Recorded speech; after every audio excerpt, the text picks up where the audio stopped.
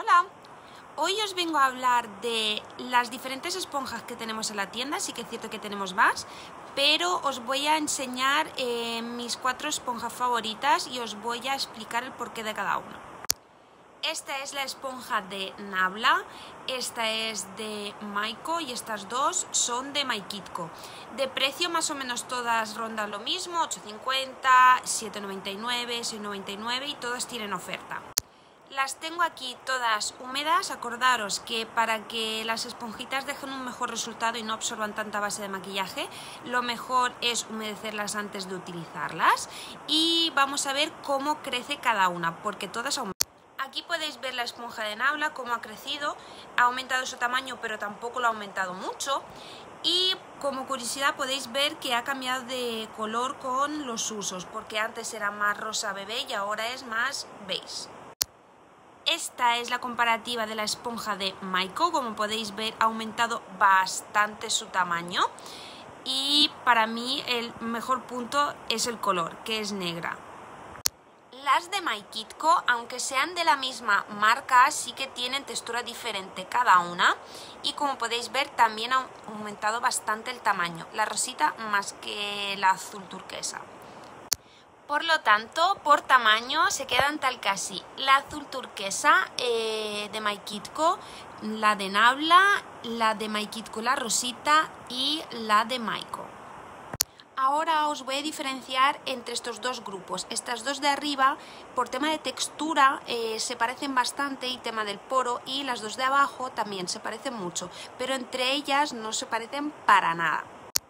La de Maikitko tiene un poquito más de memoria que la de Maiko. Veis que la de Maiko enseguida recupera la forma. Entonces pues tiene un poquito más de rebote a la hora de aplicar la base. El poro de la de Maiko es bastante más grueso que la de Maikitko, por lo tanto dejará un poquito más de textura a la hora de aplicar la base. Y lo que sí he notado es que, no sé si podéis ver, eh, se, se resquebraja un poquito y esto es por la uña. Cuando las lavo le meto un poquito la uña y se queda marcada.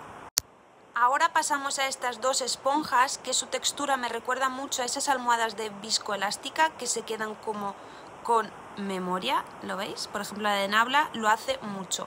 Esta no tanto, pero su textura es muy parecida. Su poro es muy muy muy fino, por lo tanto dejan la base muy bien integrada, pero sí que es cierto que la de Nabla es un pelín más cerrado y cuesta un poquito bastante más de limpiar, por ejemplo, que la de Maikitko.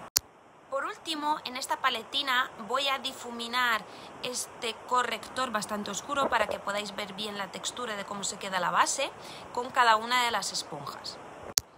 A simple vista aquí podéis ver cómo ha cundido el corrector. He intentado poner eh, la misma cantidad en cada una de las pasadas y como veis eh, este y este han cundido bastante más.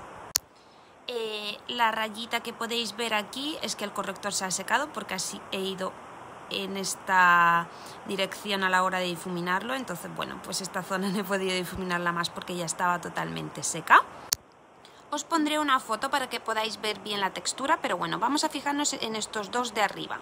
El de más de arriba es de la esponja de Maiko y esta es la de Maikitko. Como podéis ver, esta tiene un poquito más de textura que esta. Y estas dos de abajo, que esta es la de Nabla y esta es la esponja azulita de Maikitko, que son las dos texturas que se parecen a esas almohadas de viscoelástica.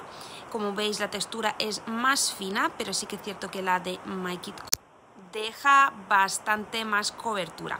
Como podéis ver, para mí las cuatro son mis favoritas, luego tenemos otras que son bastante más duras, pero sí que es cierto que las de eh, para mí son buenísimas.